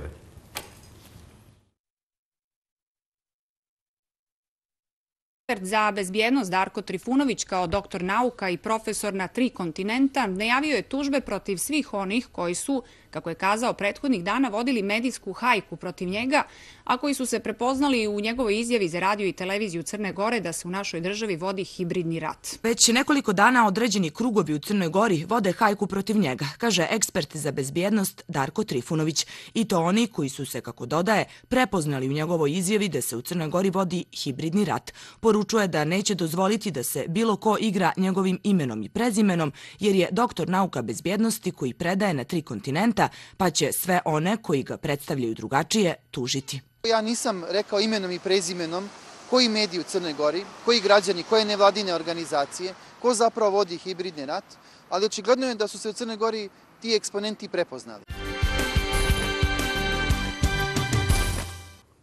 A sada ću još jednom da ponovim, repriziram šta je e, ekspert za bezbjednost i NATO promoter koga dovodimo iz Beograda, koji je saradnik nekih ljudi o kojima je govorio i Zoran Leković, sjutra ujutro kazao u emisiji jutarnjem programu Pink televizije kako je planirao terorističke napade na teritoriju sad 1999. godine. Trifunović drugi dio, broj 2 aprila.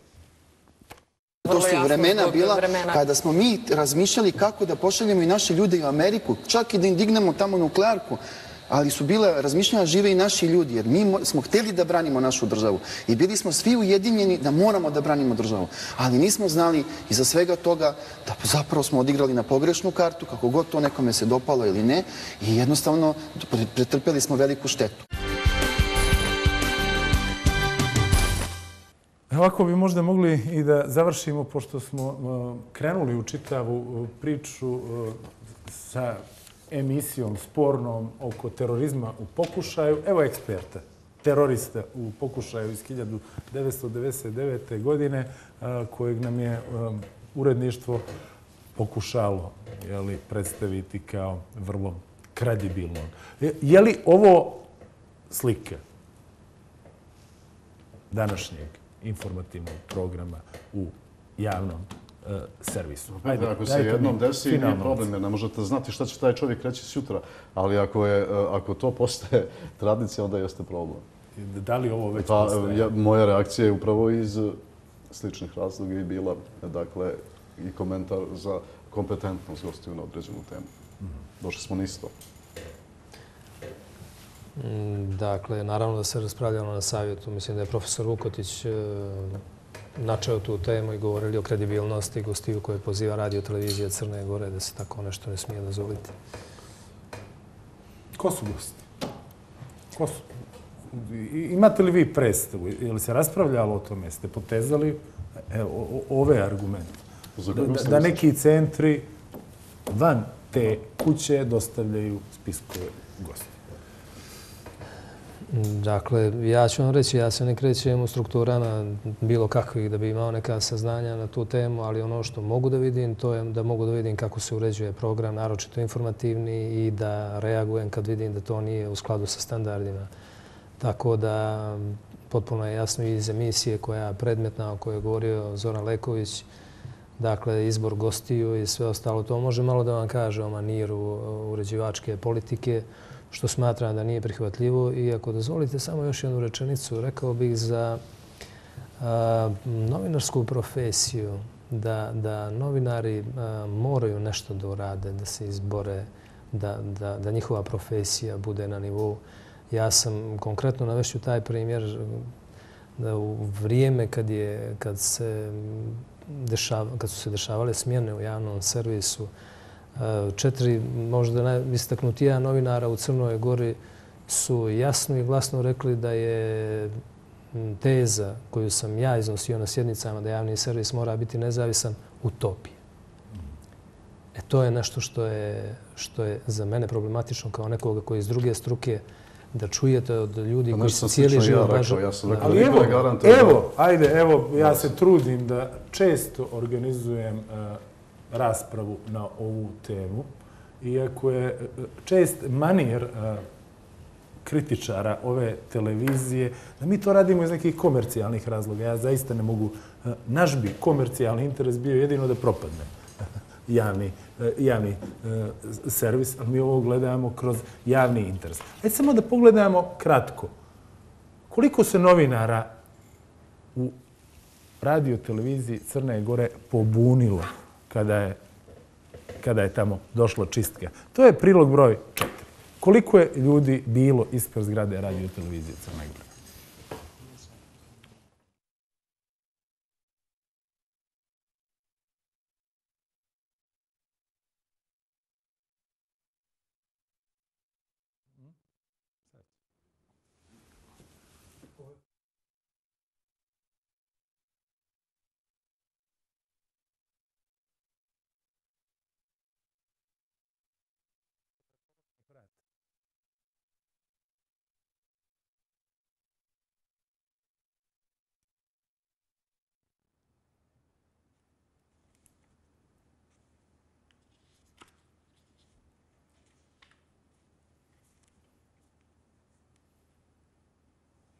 Daj, neka otkinu ovo više. Evo. Vidjeli smo. Dakle, Goran. Vratit ću se na snimak.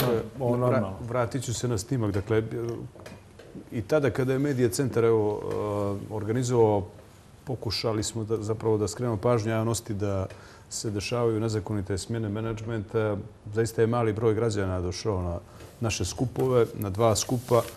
Ali evo, kad god došlo, dobro došlo. Dakle, mi danas imamo ipak značajan broj građana i građanki Crne Gore koji svake subote u 18 sati Hoćete da kažete, ako oni nisu izašli ispred svojih vrata, onda su građani došli ispred njihovih. To je upravo, svojih, to je Upravo tako i ja, nažalost, ne očekujem da se stvari mijenjuju preko noći u javnom servisu kad je u pitanju oslobađanje i povećanje doze hrabrosti kod samih novinara i novinarki u radiju televiziji Crne Gore. Ja i ove bojkote takozvane ili izbjegavanje radnih obaveza tumačim kao više gledanje na i procjenu situacije ko će da pobidi u nekim narednim okršajima, nego što je to zaista odraz prema profesionalnom...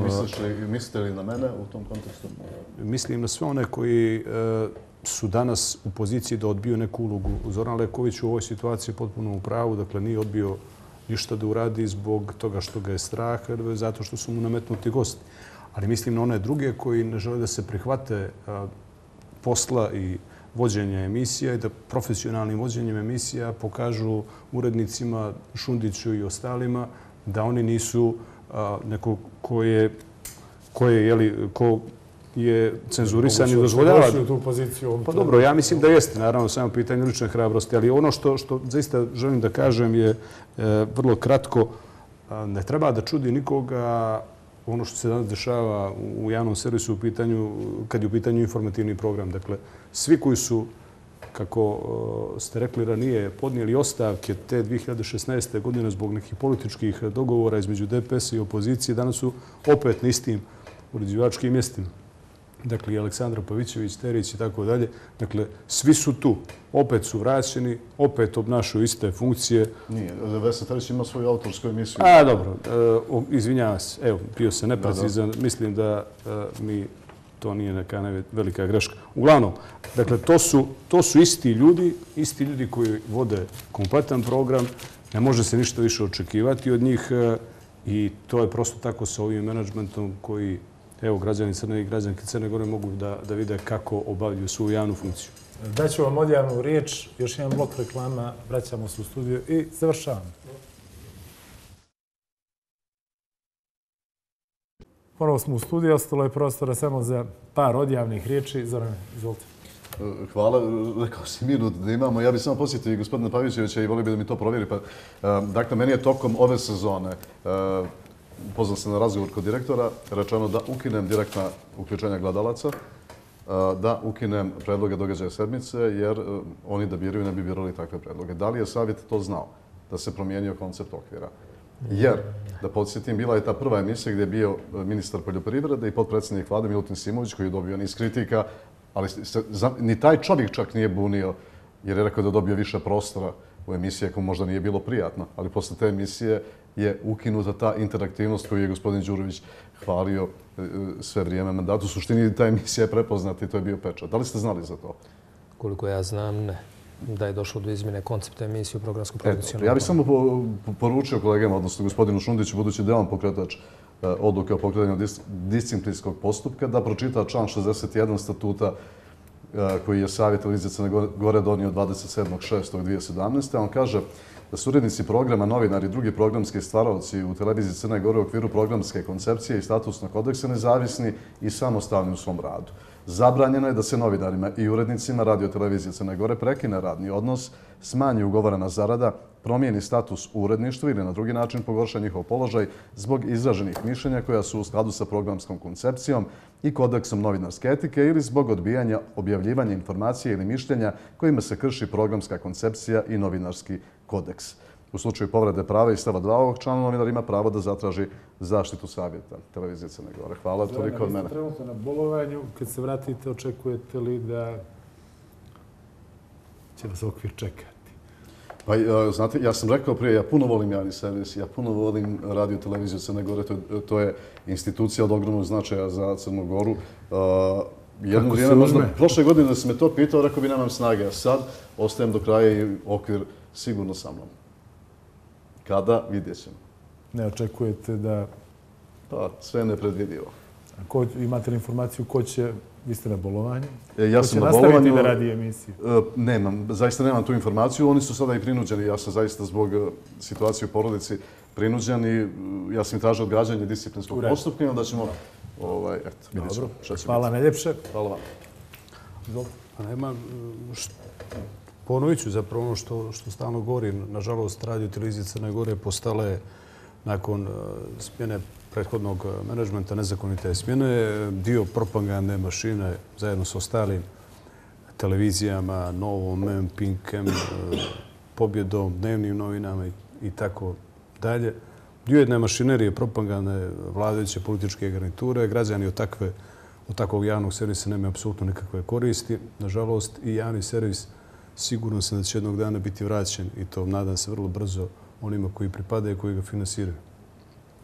Jeste li vi, vi optimista? Vidite li vi uopšte izlaz iz ove situacije? Vidite li vi svoj izlaz iz uh, ove situacije?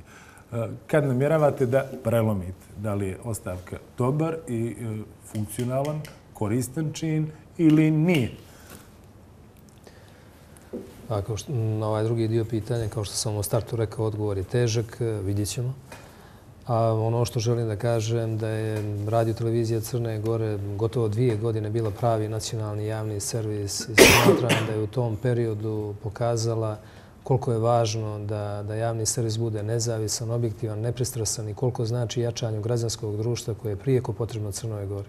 Da se konačno građani izdignu iznad političkih pa- partija, da slobodno biraju političke partije, da učestvuju u političkim utakmicama, ali da građani pobjede i da institucije na kraju javni servis služe građanima, a ne političkim partijama. Hvala vam svima na učešću e, u ovoj emisiji. Nadam se da je ovo bila korisna e, rasprava. E, to je bilo sve za večeras. Vidimo se narednog četvrtka u istom terminu. Reprizu možete pogledati odmah nakon ponoći i u nedelju nakon vijesti u 14 časova. Leku noć. Ja ste li tu televiziju vijesti?